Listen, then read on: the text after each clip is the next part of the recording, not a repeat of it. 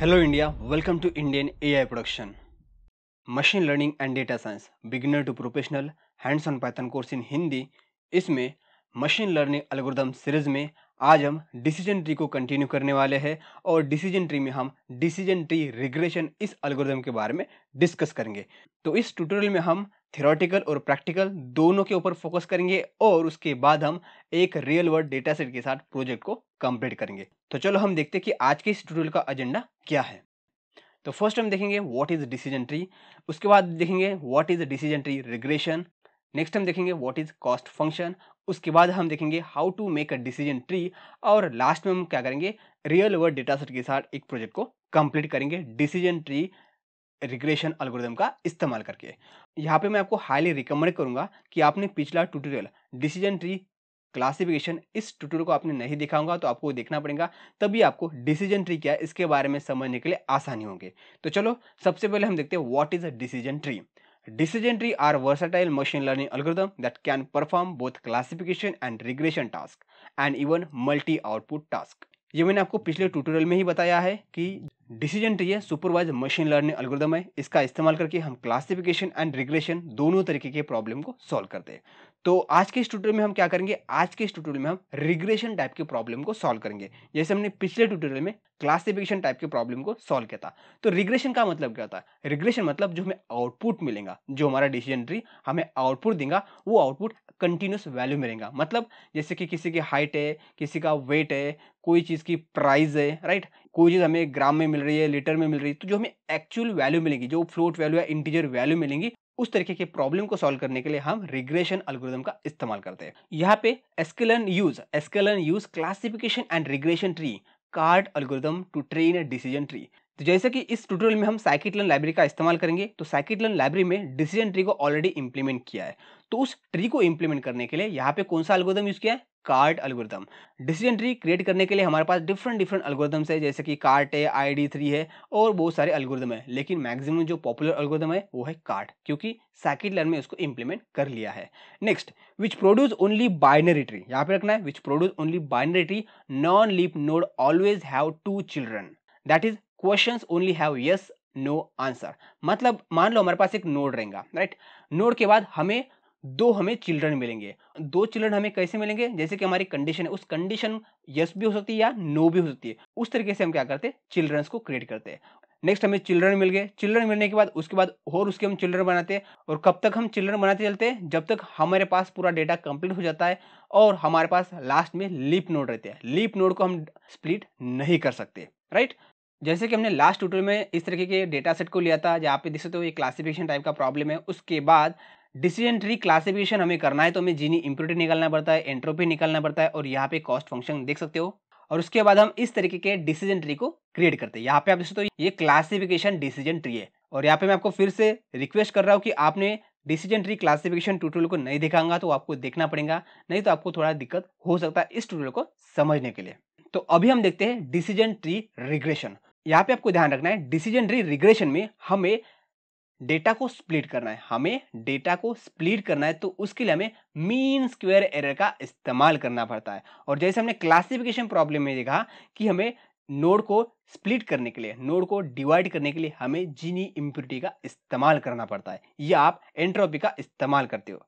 और रिग्रेशन में हम क्या करेंगे? रिग्रेशन में हम मीन स्क्वायर एरर का इस्तेमाल करेंगे। और मीन स्क्वायर एरर का इस्तेमाल करने के बाद जो हमें लास्ट में हमारे पास जो इंस्टेंसेस रहेंगे पर्टिकुलर लिप से, उस टारगेट वैल्यू का हम क्या करते हैं? एवरेज निकालते हैं और एवरेज निकालने के बाद हमें जो लीप नोड में जो वैल्यू मिलेंगे वो एवरेज रहेगा जितने भी हमारे पास इंस्टेंसेस है उस पर्टिकुलर लीप में राइट तो यहाँ पे आपको अभी समझ में नहीं आ गया होगा। मैं जब डिसीज़न ट्री क्रिएट करूँगा तब आपको समझ में आ जाएगा। तो यहाँ पे मैं आपको फिर से बताना चाहूँगा कि जो कार्ड एल्गोरिदम राइट? जो कार्ड एल्गोरिदम है और जो हम क्लासिफिकेशन के प्रॉब्लम को सॉल्व करते हैं तो उस वक्त हमें डेटा को स्प्लिट करने के लिए हम क्या करते? हैं हमारी जो इम्प्यूरिटी है, उसको हम मिनिमाइज करने की कोशिश करते हमारे ट्रेनिंग डेटा सेट के ऊपर। और उसके बाद हम क्या करते हैं? हम डेटा को स्प्लिट करते हैं।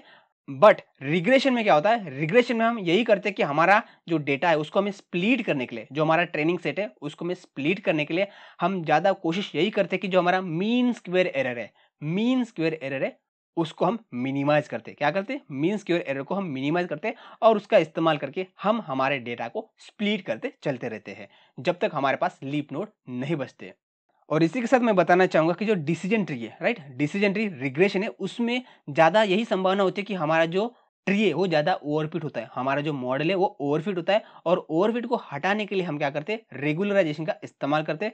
इस चीज़ का आपको ध्यान रखना पड़ेगा। यहाँ पे मैं आपको बताऊँगा कि रिग्रेशन डिसीज़न ट्री हम किस तरीके से क्रिएट करते हैं। तो जैसे कि यहाँ पे हमारे पास टोटल थ्री फीचर्स है। एक है एज दूसरा है हाइट और तीसरा है वेट एज हमारे एक्स एक्सिस के ऊपर है हाइट हमारे वाई एक्सिस के ऊपर है और वेट हमारा जेड एक्सिस के ऊपर है। तो यहाँ पे आपको यही समझना है कि हमारे पास अभी यहाँ पे जो डेटा है थ्री डायमेंशन में, कितने डायमेंशन में? थ्री डायमेंशन और जो हमारी थर्ड डायमेंशन है वो जेड और वेट को हमें प्रेडिक्ट करना है। एक्स एंड वाई का इस्तेमाल करके हमें वेट को प्रेडिक्ट करना है। तो अब हमें क्या करना है? हमें यहाँ पे डिसीज़न ट्री का इस्तेमाल करना है मतलब हमें डेटा को स्प्लिट करना पड़ेगा और उसके बाद हमें वेट को फाइंड करना है। तो जैसे कि हमने फ़र्स्ट स्प्लिट लिया, यहाँ पे जैसे तो फ़र्स्ट स्प्लिट यहाँ पे हमने कंसिडर किया कि भाई age age is a less than ten age is less than ten यहाँ पे आप जैसे तो जो भी मैं यहाँ पे लाइन ले रहा हूँ, इसको बोलते हैं स्प्लिट कर रहे हैं और राइट साइड में क्या कर रहा हूँ, उसका मैं डिसीज़न ट्री निकाल रहा हूँ, यहाँ पे आपको ध्यान रखना है। तो हमने यहाँ पे फ़र्स्ट स्प्लिट लिया और यहाँ पे हमें कंडीशन लिखी भाई एज ए मतलब होता है age age is less than ten तो हमारे पास यहाँ पे दो ऑप्शन मिलेंगे यस और नो यस और नो यहाँ पे जो ब्लू लाइन है वो एस को इंडिकेट करती है और ग्रीन लाइन नो को इंडिकेट करती है। नेक्स्ट हम क्या करते हैं, हम दूसरा स्प्लिट लेते हैं। यहाँ पे आप जैसे तो हमारे डायग्राम में हमने दूसरा स्प्लिट लिया है।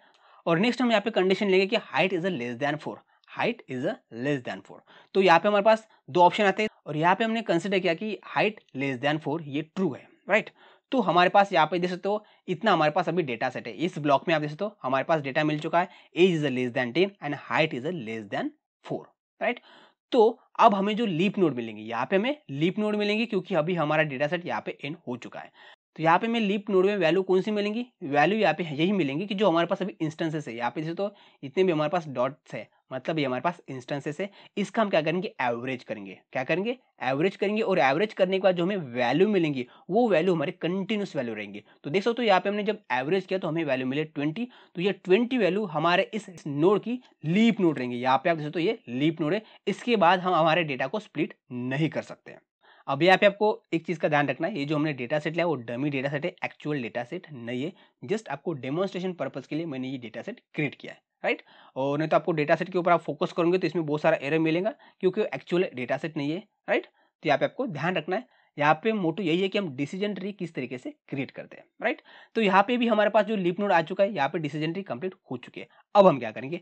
अब हम नेक्स्ट स्प्लिट लेंगे। हम क्या करेंगे? यहाँ पे थर्ड स्प्लिट लेंगे। यहाँ पे आप जैसे तो थर्ड स्प्लिट राइट तो यहाँ पे अभी हम एक कंडीशन लेंगे कि age is a less than thirty तो यहाँ पे हमें यस भी मिल सकता है और यहाँ पे हमें नो भी मिल सकता है। मान लो age is a less than thirty true है। क्या है? Age is a less than thirty true है। उसके बाद हम क्या करेंगे? स्प्लिट फोर लेंगे। क्या लेंगे? हम स्प्लिट फोर लेंगे। यहाँ पे आप देखते तो हमने स्प्लिट फोर लिया है। उसके बाद हम एक कंडीशन लेंगे कि भाई height height is a greater than four देख सकते हो यहाँ पे हमारा स्प्लिट है। अब यहाँ पे हम क्या कर सकते हैं? Height is a greater than four तो मान लो यहाँ पे हमारे पास दो वैल्यू मिलेंगे। यहाँ पे हाइट ग्रेटर देन फोर भी है और height is less than four भी है, हमारे पास देख सकते हो। तो यहाँ पे मान लो अभी जो हाइट है right height is a greater than four यहाँ पे तो height is a greater than four and age is a less than thirty and this तो age is a greater than thirty तो ये हमारा एक ब्लॉक है। इस ब्लॉक में अभी हमें वैल्यू निकालनी है। तो वैल्यू निकालने के लिए क्या करेंगे? जितने भी हमारे पास पॉइंट है, इसका हम क्या करेंगे? एवरेज करेंगे। और एवरेज करने के बाद हमें क्या वैल्यू मिलेंगे? यहाँ पे आप देख तो हमारे पास जस्ट एवरेज वैल्यू मिले सिक्सटी इस ब्रांच का ये हुआ leaf node sixty value right और उसके बाद, मान लो अभी जो ये ब्लॉक देख सकते यहाँ पे। Height is a less than three यहाँ पे जस्ट मैंने फोर लिया, यहाँ पे आपको ध्यान रखना एरर है राइट तो यहाँ पे height is a less than three और age is a less than thirty age is a greater than ten तो इस ब्लॉक में जितने भी पॉइंट्स है, इसका हम क्या करेंगे? एवरेज निकालेंगे और एवरेज निकालने के बाद हमें वैल्यू मिलेंगे। यहाँ पे जस्ट एग्ज़ाम्पल के लिए एवरेज वैल्यू लिया थर्टी यहाँ पे कोई मैथमेटिकल कैलकुलेशन नहीं किया यहाँ पे मैंने आपको डेमोन्स्ट्रेट करने के लिए एवरेज वैल्यू मिले थर्टी उसके बाद उस वैल्यू को हम क्या करेंगे? हमारे इस लीप नोड को दे देंगे राइट तो यहाँ पे जैसे तो यहाँ पे भी हमारा जो डिसीज़न ट्री यहाँ पे एंड हो चुका है क्योंकि यहाँ पे लीप नोड आ चुके हैं। नेक्स्ट हम क्या करेंगे?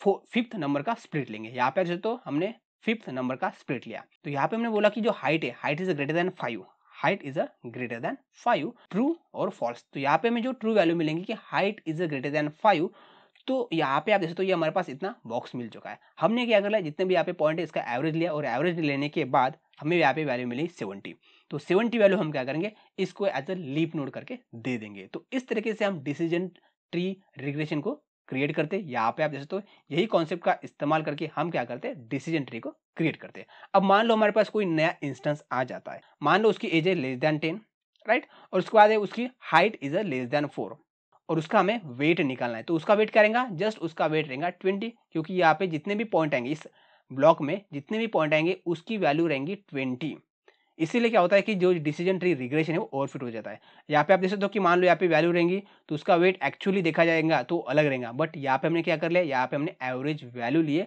तो इसीलिए इस ब्लॉक में जितने भी पॉइंट आएँगे, उसका जो वेट रहेगा, वो वेट रहेगा ट्वेंटी इस चीज़ का आपको ध्यान रखना है। तो इसलिए हमारे जितने ज़्यादा स्प्लिट रहेंगे, जितने हमारे पास नोड रहेंगे तो उतना हमारा डिसीज़न ट्री कॉम्प्लेक्स होता जाएगा। और जितना हमारा कॉम्प्लेक्स होता जाएगा तो हमें और अच्छी खासी एक्यूरेट वैल्यू मिलेंगी। बट क्या होता है, जब हम टेस्ट करते हैं तो टेस्ट करने के बाद क्या होता है कि हमारा डिसीज़न ट्री हमें एक्यूरेट वैल्यू नहीं दे सकता, क्योंकि वो ओवरफिट हो जाता है। तो इस चीज़ का आपको ध्यान रखना पड़ेगा।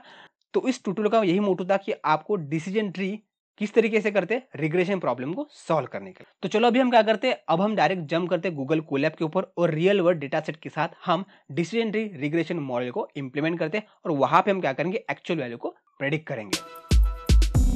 तो जैसे कि आपने जितने भी हमने अब तक रिग्रेशन सुपरवाइज अल्गोरिदम को हमने डिस्कस किया तो वहाँ पे हमने सेम डेटा सेट लिया है बैंगलोर हाउस प्राइस प्रडिक्शन का।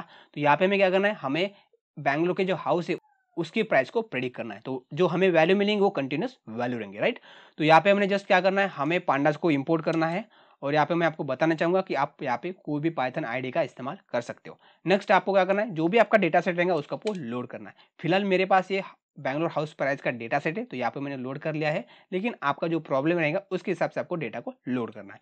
नेक्स्ट यहाँ पे आप उसका हेड देख सकते हो। यहाँ पे मैंने जस्ट हेड लिया है। देख सकते हो हमारे पास टोटल 108 कॉलम से मतलब 108 फीचर से और यहाँ पे आप डिफरेंट डिफरेंट फीचर देख सकते हो, क्योंकि इस डेटा सेट को हमने one hot encoding different different data pre processing का इस्तेमाल करके जो हमारे पास रॉ डेटा था, उसको हमने इस तरीके के डेटा फ्रेम में क्रिएट कर लिया है। इस डेटा सेट के ऊपर मैंने स्पेशल प्रोजेक्ट बनाया है और आप उसको देखना चाहते हो तो जस्ट आपको आई कार्ड में वो लिंक मिल जाएँगे राइट तो यहाँ पे जैसे तो ये प्राइस देख सकते हो, ये प्राइस हमारा क्या है? ये टारगेट वेरिएबल है। तो हमें टोटल 107 107 फीचर का इस्तेमाल करके 108 नंबर का ये जो फीचर है, इसको हमें प्रेडिक्ट करना है राइट तो सबसे पहले हमें क्या करना है? हमें सबसे पहले डेटा को स्प्लिट करना पड़ेगा। तो यहाँ पे हमने क्या कर लिया? डेटा को स्प्लिट कर लिया है। देख सकते हो, हमने एक्स में डेटा कितना है? Seven thousand one hundred twenty हमारे पास हाउसेस की इंफॉर्मेशन है। ओके? और वाई में हमारे पास क्या है? वाई में हमारे पास प्राइस इस फीचर की इंफॉर्मेशन है। नेक्स्ट हमें क्या करना है? हमें डेटा को ट्रेन एंड टेस्ट में स्प्लिट करना है। तो जस्ट हमने डेटा को यहाँ पे ट्रेन एंड टेस्ट में स्प्लिट किया है। अब हमें क्या करना है? अब हमें डिसीज़न ट्री रिग्रेशन मॉडल को क्रिएट करना है। तो डिसीज़न ट्री रिग्रेशन मॉडल को क्रिएट करने के लिए हम क्या करेंगे? यहाँ पे लिखेंगे फ्रॉम एस के लर्न क्या करेंगे? एस के लर्न क्योंकि हम साइकिट लर्न लाइब्रेरी का इस्तेमाल करने वाले हैं। उसके बाद हमें क्या करना है? यहाँ पे लिखना है ट्री क्या लिखना है? ट्री लिखना है। उसके बाद हमें इम्पोर्ट करना है। ट्री मॉड्यूल से हमें इम्पोर्ट करना है। किसको इम्पोर्ट करना है? डिसीज़न ट्री रिग्रेशन को। क्या करना है? डिसीज़न ट्री हमें रिग्रेसर को हमें इंपोर्ट करना है। राइट तो चलो इस क्लास को हम इंपोर्ट करते हैं और इस क्लास में जो डिसीज़न ट्री रिग्रेसर है, जो कार्ड अल्गोरिदम का इस्तेमाल करके इसको इंप्लीमेंट किया है तो यहाँ पे अभी हम इंप्लीमेंट नहीं करेंगे जस्ट उस क्लास को हम कॉल करेंगे, लेकिन आप उसको स्क्रैच से इंप्लीमेंट करना चाहते हो तो आप कर सकते हो। नेक्स्ट अभी हम क्या करेंगे? यहाँ पे एक ऑब्जेक्ट क्रिएट करेंगे। और यहाँ पे आप दे सकते हो डिसीज़न ट्री रिग्रेशन को हम कितने डिफरेंट डिफरेंट पैरामीटर दे सकते हैं। बट यहाँ पे आपको ध्यान रखना है क्राइटेरियन क्राइटेरियन में क्या है? M S C mean square error तो मैंने आपको पहले ही बता दिया है कि क्लासिफिकेशन के जो प्रॉब्लम होते हैं, जो डिसीज़न ट्री का हम इस्तेमाल करते हैं, उस वक्त हम जीनी एंट्रोपी का इस्तेमाल करते हैं, हमारे डेटा को स्प्लिट करने के लिए रूट नोट से चिल्ड्रन में स्प्लिट करने के लिए। बट रिग्रेशन में हम क्या करते हैं? मीन स्क्वेयर एरर इस इस्तेमाल करके हम हमारे डेटा को स्प्लिट करते हैं राइट और यहाँ पे क्राइटेरिया हमारे पास दूसरे भी है, जैसे कि मीन स्क्वेयर एरर है, उसके बाद फ्रीडमैन अंडरस्कोर मीन स्क्वेयर है, उसके बाद मीन एब्सोल्यूट एरर है। तो इस तरीके के हम डिफरेंट डिफरेंट क्राइटेरियन है इसका इस्तेमाल करके हम क्या करते हैं? हमारे डेटा को स्प्लिट करते हैं। फ़िलहाल यहाँ पे बाय डिफ़ॉल्ट क्या है? क्राइटेरियन हमारे पास है मीन स्क्वेयर एरर तो जस्ट मैं आपको शो करने के लिए यहाँ पे ले रहा हूँ। और आपको लेने की ज़रूरत नहीं, जितने भी डिफ़ॉल्ट पैरामीटर है, वो सही पैरामीटर है, उसका इस्तेमाल करके आप डिसीज़न ट्री को क्रिएट कर सकते हैं। तो जस्ट यहाँ पे मैं एक ऑब्जेक्ट नेम ले रहा हूँ रिग्रेसर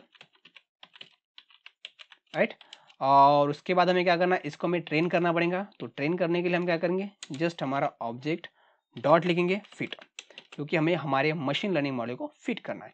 फिट हमें किसके ऊपर करना है X train data comma Y train data right तो चलो अभी हमारे डिसीज़न ट्री रिग्रेशन मॉडल को हम ट्रेन करते हैं। ओके okay, तो यहाँ पे आप देख सकते हो हमारा डिसीज़न ट्री रिग्रेशन मॉडल अभी ट्रेन हो चुका है। कौन सी पैरामीटर के साथ? इस पैरामीटर वैल्यू के साथ हमारा मॉडल अभी ट्रेन हो चुका है। अब हमें क्या करना है? हमारे मॉडल को हमें टेस्ट करना पड़ेगा कि हमारा मॉडल ओवरफिट हुआ है अंडरफिट हुआ है या जनरलाइज हुआ है। और उसने हमें कितना? स्कोर दिया। तो उसके लिए हम क्या करेंगे? हमारा मॉडल डॉट लिखेंगे स्कोर स्कोर मेथड का इस्तेमाल करके हम क्या करते हैं? X underscore test data लेंगे Y underscore test data देंगे। तो चलो, अब हम क्या करते हैं? हमारे मॉडल की एक्यूरेसी फाइन करते हैं। जस्ट यहाँ पे एक प्रॉब्लम आ चुका है। हमने अंडर स्कोर लेना चाहिए था मैंने माइनस साइन लेता तो चलो, फिर से इसको ट्रेन करते हैं। ओके तो देख सकते हो, हमारा जो डिसीज़न ट्री रिग्रेशर है, वो मॉडल ट्रेन हो चुका है और उसने हमें एक्यूरेसी कितनी दी है? 86.95 परसेंट एक्यूरेसी दी है टेस्ट डेटा सेट के ऊपर राइट तो यहाँ पे देखा जाए एक्यूरेसी अच्छी खासी है, बुरी भी नहीं है और इस डेटा सेट के ऊपर आप आपका मशीन लर्निंग मॉडल डिप्लॉय कर सकते हो, क्योंकि यह रिग्रेशन टाइप का प्रॉब्लम है। तो जैसे कि यहाँ पे हमने डिसीज़न ट्री मॉडल अभी क्रिएट कर लिया है बट अभी हमें इसको डिप्लॉय करना है राइट और उसके बाद हमें हाउस के प्राइस को प्रेडिक्ट करना है तो उसको हम किस तरीके से कर सकते हैं। तो जस्ट यहाँ पे मैं एक हेडिंग ले रहा हूँ। Predict the value of house okay अब हमें क्या करना है? हाउस की प्राइस प्रेडिक्ट करना है। तो फ़िलहाल हमारे पास एग्जैक्ट वैल्यू नहीं है तो हम क्या करेंगे? जो हमारे पास टेस्ट डेटा सेट है, वही से हम क्या करेंगे? वैल्यू लेंगे। तो यहाँ पे मैं ले रहा हूँ X under test dot iloc right उसके बाद मैं क्या करूँगा?